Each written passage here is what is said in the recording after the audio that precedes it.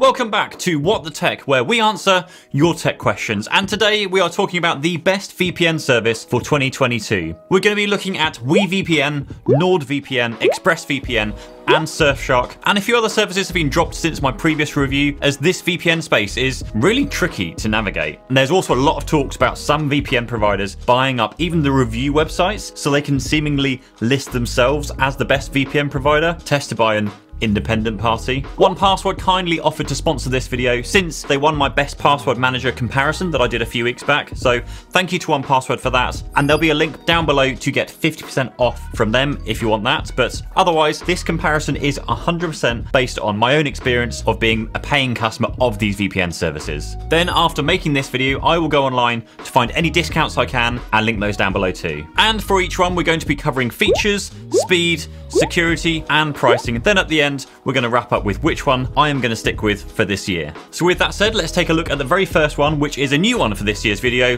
WeVPN.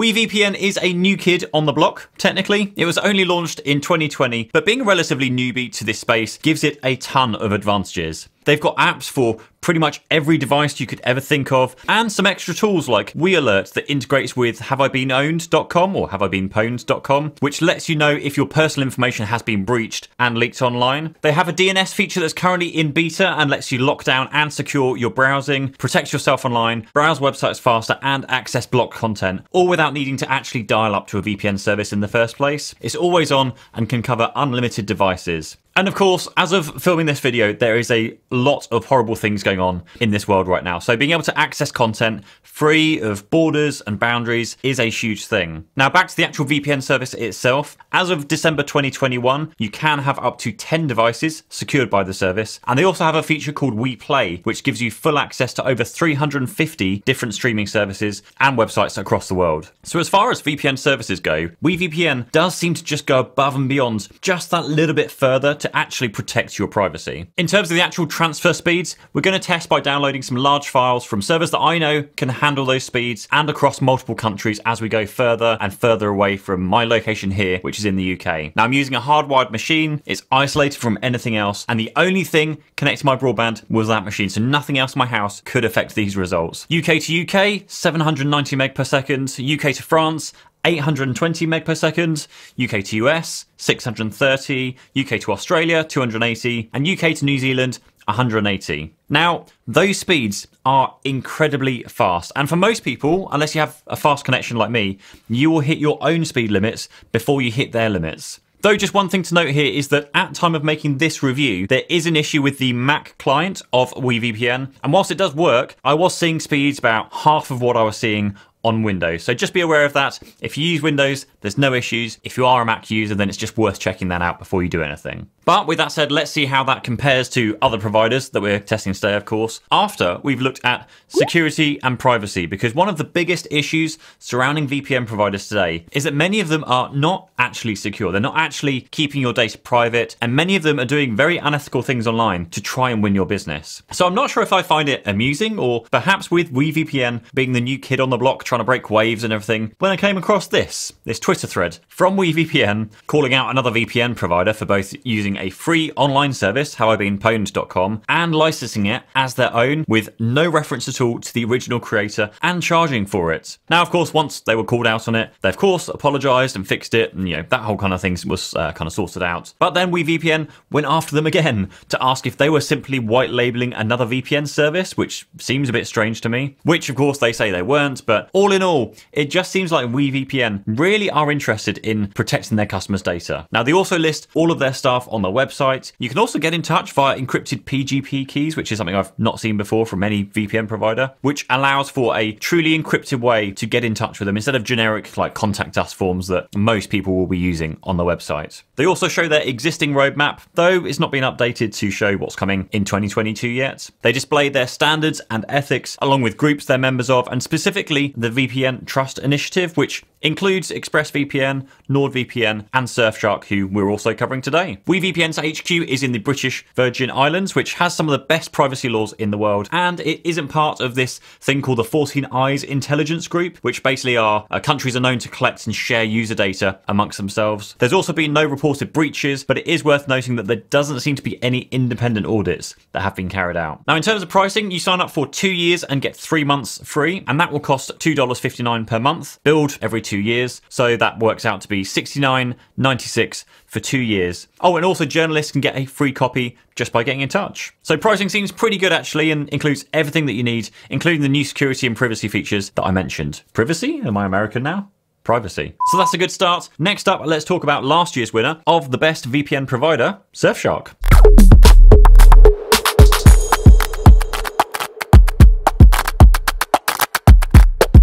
As well as the standard VPN features that we'd expect now, Surfshark also lets you block ads and malware, has a private online search feature, has personal data breach notifications if you sign up for their alert service, and they also specifically call out secure IPTV access as well as buffer-free online sports. Now you can also use Surfshark on unlimited devices, and if we run those same speed tests, we've got this time UK to UK at 600 megaseconds, UK to France 410, UK to US 400, UK to Australia 350, and UK to New Zealand 280. Pretty good speeds. Again, not as fast as WeVPN, but pretty good. And I have to say, the speeds during my tests did fluctuate a lot this time around. I think because of all the activity going on with obviously Russia and Ukraine, with so many people now signing up for these VPN services to avoid content restrictions which are being enforced upon them. So whilst I will say these speeds are impressive, I also struggled with a few locations and I had to try multiple times to find one variation of that location that did give me a good speed, which is kind of fine because it doesn't actually take long to actually swap over the servers. Now, when it comes to security, Surfshark is one that has been independently audited for any issues which came back essentially with flying colours. And it is an improvement on the last audit they had, which only covered the, the Chrome and the Firefox extensions rather than the actual like internal systems. So it is great to see they've taken extra steps to show that they have nothing to hide. However, in 2021, Surfshark announced they were moving from the Virgin Islands to the Netherlands, which is part of this Nine Eyes alliance that shares information between countries. And they stated that this is due to generally it's more favourable tax conditions, which kind of makes sense if you're a growing business. They have been transparent in their announcements and say that they can still retain their no logs guarantee even from within the EU. But there is still concern, of course, around what their intentions might really be and if any legislation changes could affect their ability to keep their data anonymous. But there have been no reports of breaches over the years, and so as it currently stands, I don't think you have anything anything to worry about with Surfshark. Pricing wise, it's $2.49 per month for two years, which comes to a total of $59.76. It works out to be about 10 bucks cheaper than WeVPN, but they have an add-on for an extra $1.49 per month, which gives you extra protection like antivirus protection, breach alerts if your data gets leaked, and additional privacy features which are included as standard WeVPN. Which then brings the total to $95.52 for two years, which is a lot more expensive than WeVPN providing of course you take up those additional features. Or if you don't use them, it's the cheapest. Now next up is NordVPN.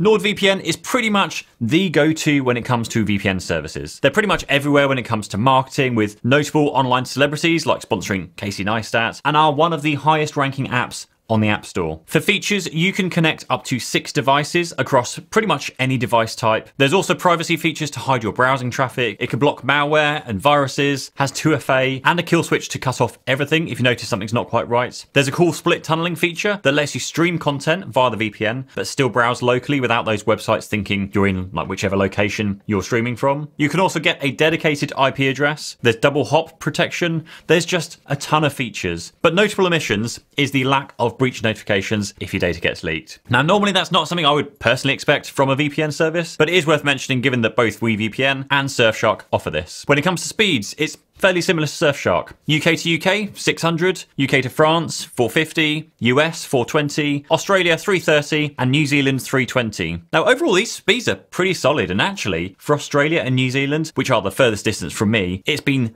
by far the best. But again, for most people, unless you have an ultra fast connection, you'll end up maxing out your connection before you actually hit the limitations of the VPN service itself. Overall, though, I would say WeVPN does seem to be taking the lead on speeds, providing you don't want to connect to the other side of the world. But in terms of privacy, NordVPN was audited back in 2020. There's been no further update or audit since then. However, 2018 was their audit before that, so every two years, and I'd expect that next time I do this review, that should have another audit completed by then. They're also based in Panama and are outside of the 14 eyes, the 9 eyes, and 5 eyes, which means that there's nothing to worry about here when it comes to your privacy. Pricing wise, we're at $3.49 per month for two years. So that comes to $83.76, which is almost 20% more expensive than WeVPN. It's more expensive than Surfshark if you don't take out that extra breach protection from them, but does potentially give you better privacy than Surfshark. Lastly, let's take a look at ExpressVPN.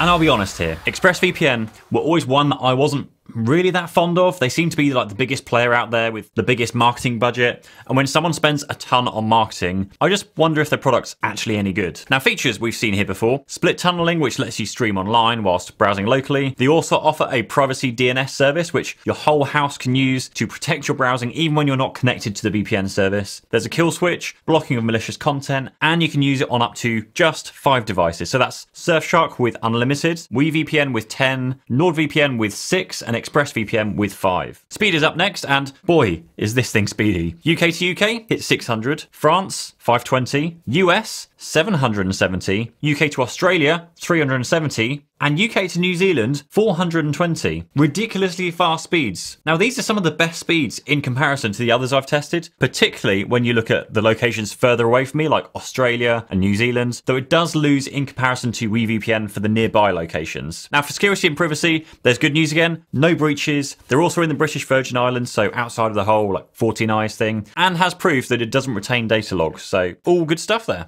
Pricing, however, is $8.32 per month on a one year deal. And it's kind of awkward, but they don't offer a two year price. So for two years, it's a total of $199.90. 185% more expensive than the cheapest provider in our tests. 185%. But let's be fair, let's let me just look at the one year pricing. WeVPN, 416 per month, Surfshark, $3.06 per month, and NordVPN, $4.99 per month. All of those are on a like a one year plan, which still makes ExpressVPN over 170% more expensive than the cheapest one year pricing from Surfshark. Nuts. Absolutely nuts. So, if you want the best VPN service, my recommendation this year would be to go with WeVPN. It is fast, it's affordable, it's secure, has a ton of features included as standard, and has a reasonable device limit too. Just be aware of their current issues with their Mac client if you're watching this like near the time that I post the video. In second place, I put NordVPN. Third would be ExpressVPN. Even though it's a high price, it's still a good service and gets good speeds. And then fourth would unfortunately be Surfshark, just because of their uncertainty around their decision